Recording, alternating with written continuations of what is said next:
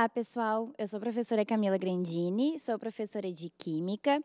Sou uma mulher branca, de pele clara, olhos e cabelos castanhos, estatura baixa e hoje eu estou usando um casaco bege, a camiseta do projeto e uma calça preta.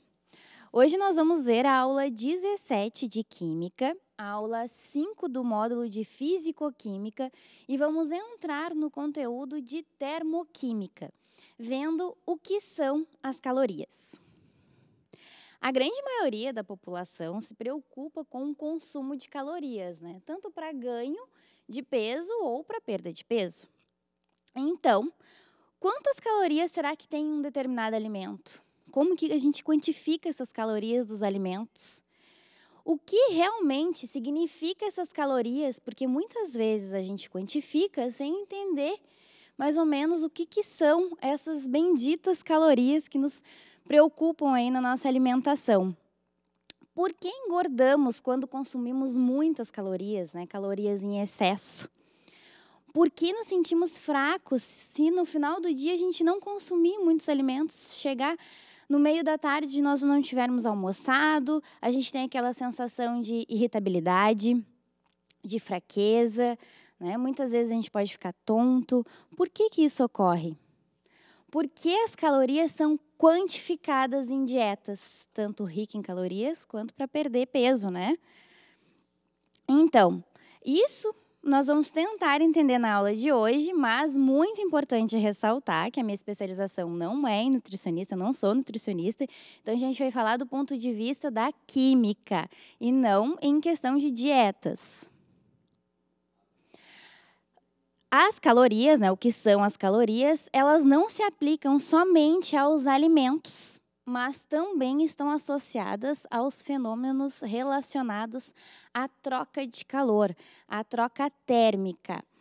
Por exemplo, quando é queimado um litro de gasolina, libera-se cerca de 7 milhões de calorias em apenas um litro de combustível de gasolina. Então, é uma unidade de energia que se refere ao calor liberado ou absorvido em uma reação, né, em um aspecto da termoquímica. Então, a caloria, ela é literalmente, tá? Ela é, uma, ela é a quantidade de energia ou calor necessário para elevar a temperatura de 1 grama de água em 1 grau Celsius. Só para a gente entender o conceito das calorias.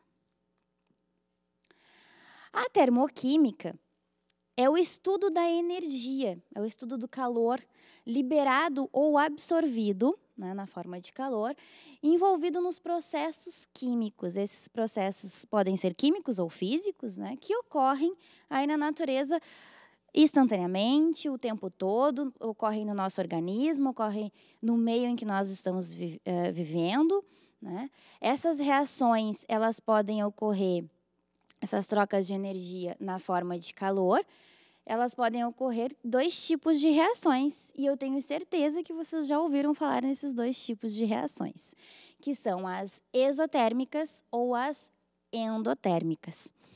As reações exotérmicas, e aqui a gente pode ver direitinho pelo nossa, pela nossa ilustração, a ESO, aqui tem um, uma vidraria de laboratório com uma reação dentro, né, onde faz aquela borbulha da reação e ela libera calor, as setinhas estão para fora, ela libera calor para o ambiente. Ou seja, uma reação exotérmica, ela aquece o ambiente. Ela vai, esse frasco, ele vai, a gente vai sentir que ele aqueceu, ele vai ficar morno. Então, ela libera calor né, para o, o ambiente.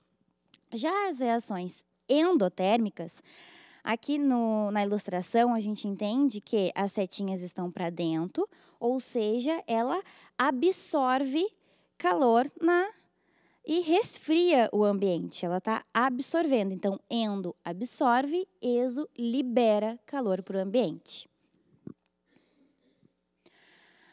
Quando a gente fala de, de termoquímica, não tem como a gente deixar passar a entalpia. A entalpia, ela é simbolizada pela letra H maiúsculo, ela é a energia trocada nas reações químicas, né? Tanto de absorção quanto de liberação de calor, ou seja, tanto nas reações endotérmicas quanto nas exotérmicas. E ela é a quantidade de calor contido num sistema, tá? Nós não conseguimos fazer um, quantificar o calor que ocorre na reação em si, né? Um, é, é, um pouco difícil. Então, a gente calcula a, o calor do, da reação antes de ocorrer, ou seja, o calor dos reagentes, e depois a gente verifica o calor das, da reação depois de ocorrer, ou seja, dos produtos. Então, como não é possível determinar essa entalpia da substância experimentalmente, se trabalha com essa variação de entalpia.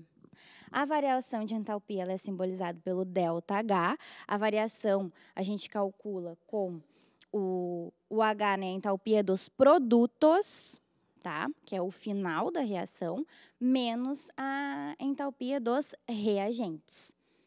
E ela é dada por essa diferença. Quando eu tenho um ΔH, uma variação de entalpia negativa, eu tenho uma reação exotérmica. Então, eu consigo saber se a minha reação libera ou absorve calor através desse ΔH. Tá? Que a gente consegue calcular, porque tem vários valores de entalpia tabelados, então a gente consegue fazer o cálculo de uma uh, variação de entalpia de uma reação. Se a reação se der negativo, ela é exotérmica. Positivo, ela é endotérmica. E a gente vai colocar isso aqui num cantinho do quadro, para quando a gente realizar o exercício, a gente lembrar como verifica se ela é endo ou exotérmica, certo? Então, vou colocar aqui num cantinho o meu ΔH menor que zero e o meu ΔH maior que zero, que é exo ento ok? Só para nós lembrarmos depois ao decorrer da aula.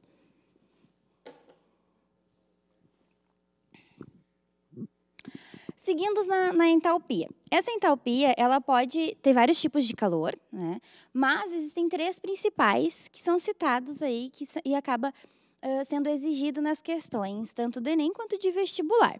Existe a entalpia de formação, a entalpia de combustão e a entalpia de ligação.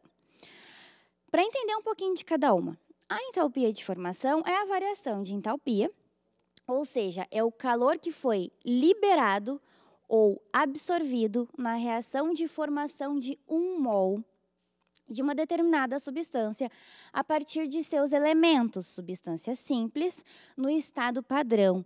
Este estado padrão, existe a entalpia padrão, ele é sempre com 1 atm, pressão em 1 atm e temperatura 20, uh, 25 graus Celsius. É o estado padrão dos, das substâncias. Então, a variação de entalpia de formação é igual à entalpia dos produtos.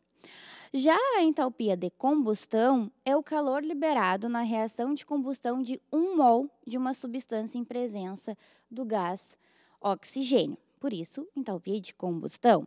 Aqui eu trouxe o exemplo da combustão do metano, onde eu tenho o gás metano mais o gás oxigênio, formando o dióxido de carbono e a água, e eu tenho uma entalpia de menos 889,5 kJ por mol. Se eu tenho uma entalpia negativa, significa que eu tenho uma reação exotérmica. Por que, que a entalpia de combustão ela é exotérmica? Porque a combustão ela vai sofrer, uh, ela vai ser sempre negativa, pois as reações de combustão são sempre exotérmicas. Ok? Então, isso a gente sempre sabe que a entalpia de combustão ela é negativa. Já a entalpia de ligação é a variação de entalpia que é verificada na quebra, quando eu tenho uma ligação e eu preciso quebrar aquela ligação. Então, é a, entalpia, é a variação de entalpia de ligação na, verifica na, verificada na quebra de um mol de uma determinada ligação química, supondo que todas as substâncias estejam no estado gasoso. Muito importante, todas têm que estar no estado gasoso. Então, um exemplo, para romper um mol do gás cloro, formando dois átomos de cloro isolados, é absorvido 242,6 kJ. Isso por mol, né, em um mol. Então, a variação de entropia é sempre positiva, pois ela absorve calor, ela precisa de energia para quebrar essa ligação. Tá? Diferente da entalpia de combustão, que libera, porque quando eu tenho uma combustão, imagine uma fogueira. A gente está do lado de uma fogueira, agora principalmente em épocas de festa junina, a gente sente que a gente fica aquecido, né? Porque aquela reação ela está liberando calor para o meio ambiente. Então, ela aquece o meio ambiente, por isso que ela é negativa. Já na de ligação, ela precisa de energia para quebrar essa ligação, fazer essa ruptura, então ela é positiva porque ela absorve energia do meio. Ela é endotérmica. Existem alguns fatores que podem uh, afetar o ΔH, a variação de entalpia. E a gente precisa cuidar desses fatores porque eles podem uh, ficarem uh, subentendidos nas questões, então é importante prestar atenção nesses fatores. Por exemplo, o estado físico muda totalmente a entalpia, porque o ΔH da formação sólida da água, quando eu tenho a, a água gelo, por exemplo, né, ele é diferente da minha água gasosa, que é o vapor d'água. Então, o estado físico muda completamente a, o ΔH. O estado alotrópico também muda a variação de entalpia. O que, que seria esse estado? Alguns elementos eles apresentam essa característica né, da alotropia, que são substâncias simples diferentes. E eu trouxe aqui um exemplo, como o gás oxigênio, Tá? E o ozônio, que uh, ambos no seu estado padrão, que é temperatura 25 graus Celsius e pressão ATM, eles têm variação de entalpia diferente, eles têm entalpias padrões diferentes. Para o gás oxigênio, ele tem entalpia igual a zero porque é uma substância simples padrão, elas têm entalpia igual a zero. Já uh, na substância simples do gás ozônio, que não é a mais comum encontrada na natureza do oxigênio, né, do, quando a gente fala da, do elemento químico oxigênio, a, a, variação de entalpia é maior do que zero. A minha entalpia padrão é maior do que zero. Também muda a temperatura, vai mudar a variação, porque a gente sempre está falando de estado padrão em temperatura igual a 25 graus Celsius. Se eu mudo esse estado padrão, eu mudo a entalpia padrão. E a concentração também dos reagentes dos produtos vai mudar a variação de entalpia. Mas afinal de contas, né? Quantas calorias tem um alimento? O que, que significa essas calorias em alimentos? Que foi a pergunta inicial, várias perguntas iniciais que eu falei para vocês. A caloria Tá? Ela é a, a, quantidade de calor que o alimento libera após a sua digestão e metabolização. Então, quando a gente consome alimento, a gente está consumindo uma energia do nosso corpo e a gente sabe disso. Tanto que se a gente não se alimenta, a gente fica sem energia. Né? Então, nós absorvemos essas calorias dos alimentos para realizar nossas funções vitais própria respiração, para nos movimentarmos, para a gente conseguir ter um dia produtivo. E quando nós consumimos em excesso, o que, que ocorre? A gente sabe que ocorre, né? A gente ganha peso. Né? Porque gera um acúmulo de, de energia no nosso organismo que não foi queimado, que não foi utilizado. Então, se eu sei que eu estou consumindo uh, excesso de caloria, excesso do que meu organismo precisa, por, pelo meu peso, pela minha altura, a gente consegue saber, e com a ajuda de um profissional, o que a gente precisa consumir, como eu posso fazer para liberar essa energia em excesso? Eu vou fazer exercício, né? Eu vou me exercitar e por isso aqui o ícone do exercício, super importante. Além de todos os benefícios dos exercícios, a gente consegue evitar essa geração de acúmulo, né? Esse ganho de peso através do excesso de, de consumo de calorias. Então, para não gerar acúmulo, as pessoas devem realizar exercícios para gastar as calorias consumidas em excesso. Muito importante. Bom, e como eu sei as calorias dos alimentos? A gente tem análise dos rótulos, né? A gente sabe que todo alimento tem que trazer ali seu valor energético no seu rótulo. E a caloria, como ela é uma unidade muito pequena, tanto que, se a gente lembrar do exemplo da, da gasolina, né, que um litro de gasolina eu queimo mais de 7 milhões de calorias, a gente trabalha com elas nos alimentos em quilocalorias, né, que a cada mil calorias eu vou ter um quilocaloria. Então, muitas vezes, de forma é, a gente se engana e acaba dizendo que aquele alimento tem tantas calorias, a gente está falando em quilocalorias. Um, exemplo aqui que eu trouxe que é comum, ó, se for dito que, em média, uma pessoa consegue queimar 600 calorias em uma hora de natação. Na realidade, o exemplo tem que trazer que queima 600 mil calorias, ou seja, 600, 600 quilocalorias em uma hora de natação. Então, tem que ter cuidado nessa conversão de unidade, e eu sempre digo isso nos nossos exercícios, prestar muita atenção quando a gente fala aí de matemática, química e física, tem que ter cuidado nessa questão de conversão de unidades.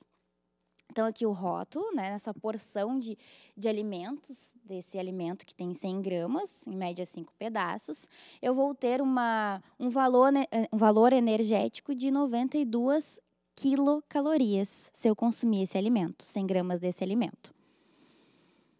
Fora toda a questão de, de outros micronutrientes, né? Nós estamos falando dos macronutrientes.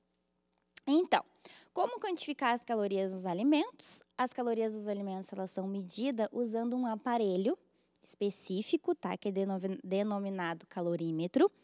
Como é feito? É feito, aqui tem um, uma imagem de um calorímetro. Então, eu pego uma amostra, que a gente sabe o, o peso, o tamanho dessa amostra, determinado alimento. Ela vai sofrer combustão dentro desse, desse equipamento, vai ter, ele vai estar submerso em água e vai ter um termômetro. Então, esse termômetro vai indicar Uh, se a água que está em volta do alimento uh, aumentou a temperatura ou não e quanto que aumentou, podendo assim ser realizados cálculos para poder definir quantas calorias tem aquela unidade, aquela quantidade de alimentos. Como os alimentos são formados pelos macronutrientes, que são os carboidratos, as proteínas e as gorduras, existem valores que são tabelados para essa composição.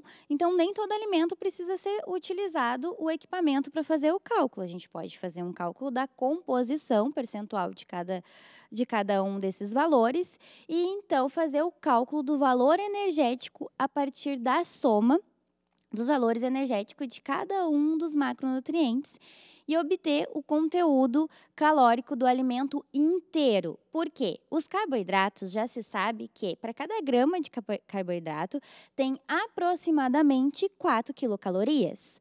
Já as proteínas têm aproximadamente 5,2 quilocalorias para cada grama. E os óleos e gorduras são 9 quilocalorias para cada grama. Isso é um valor médio. Então, sabendo a composição, sabendo a receita do nosso alimento, né, quando a gente faz um bolo ou faz um doce, a gente sabe a receita. A gente consegue saber o rendimento final dessa receita, nós já aprendemos a calcular isso em estequiometria, e aí eu consigo fazer a tabela nutricional ali, o cálculo do valor energético do alimento através desse percentual aí de cada um dos macronutrientes, certo? Isso é importante, são só os macronutrientes, tem toda a questão dos micronutrientes também, né?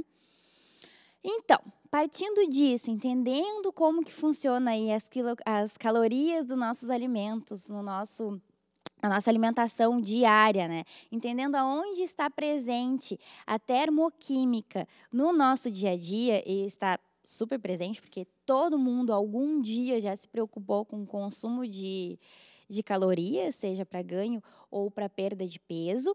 Vamos entender como que isso se aplica nas questões do Enem, tá? Tanto de vestibulares quanto Enem. Eu trouxe essa questão que diz o seguinte: o gás hidrogênio é considerado um ótimo combustível. O único produto da combustão deste gás é o vapor de água, como mostrado na equação química sendo que tem hidrogênio, oxigênio e a formação de vapor de água, água, água gasosa. Um cilindro contém um quilo de hidrogênio e todo esse gás foi queimado. Nessa reação, são rompidas e formadas ligações químicas que envolvem as energias listadas no quadro. Então, o quadro traz a ligação química de hidrogênio-hidrogênio, de hidrogênio-oxigênio e ligação dupla entre os oxigênios, tendo a energia de ligação de cada uma dessas dessas ligações. Traz também a massa molar do gás hidrogênio, é importante ser do gás, aqui ó, que não é do hidrogênio, mas é da molécula num contexto num, no gás, né? O gás, o oxigênio e da água. qual é a variação de entalpia em quilojoule da reação de combustão do hidrogênio contido no cilindro. E aí traz as opções, tanto negativo quanto positivo. Super importante a gente levar em consideração o sinal. Então, como que a gente pode resolver essa questão? Primeiro, tem que abrir essa forma estrutural das substâncias, porque traz a equação química, certo? Então, a gente deve abrir essas essas moléculas, porque aqui eu tenho o gás hidrogênio, então eu tenho duas ligações entre hidrogênio, hidrogênio e hidrogênio hidrogênio, porque são duas, dois uh, moléculas de gás, mais um de oxigênio, então eu tenho uma ligação dupla entre oxigênio, importante saber essas ligações para a gente conseguir fazer essa, esse cálculo, né? E também eu vou formar duas de água, que é o que me diz na minha equação, né? É o que a estequiometria está me dizendo. Então, eu consigo resolver através da, da equação. Eu vou ter uma ligação entre. Vou ter duas ligações entre hidrogênio e oxigênio e duas moléculas de água. Eu consigo realizar o cálculo porque eu sei a fórmula da, da minha variação de entalpia, né? É a entalpia dos produtos menos a entalpia dos reagentes. Então, vou fazer as substituições, tá? E vou conseguir obter o valor para 4 gramas de hidrogênio. Por quê? Porque isso é o que está dizendo, o que está pedindo na, na questão é um quilo de hidrogênio. Então, eu preciso fazer um, uh, 4 gramas, é a estequiometria. Para 1 quilo, eu vou ter quanto? E aí a gente consegue resolver através da regra de três, a famosa regra de três, né, que a gente sempre utiliza aí nas nossas questões de estequiometria e solução. Fazendo esse cálculo, eu consigo chegar no valor de menos 121 mil quilojoule. Como a questão pede um quilograma, eu tenho que transformar para gramas, porque eu sei que aqui eu tenho 4 gramas de hidrogênio. Então, em mil gramas, eu vou ter quanto? E essa é a alternativa B da questão, menos 121 mil quilojoules. Certo? É assim que a gente aplica as questões de termoquímica. Também é importante saber toda a questão das moléculas, né, das ligações. E eu espero que tenha ajudado vocês. Por hoje era isso. Partiu passar.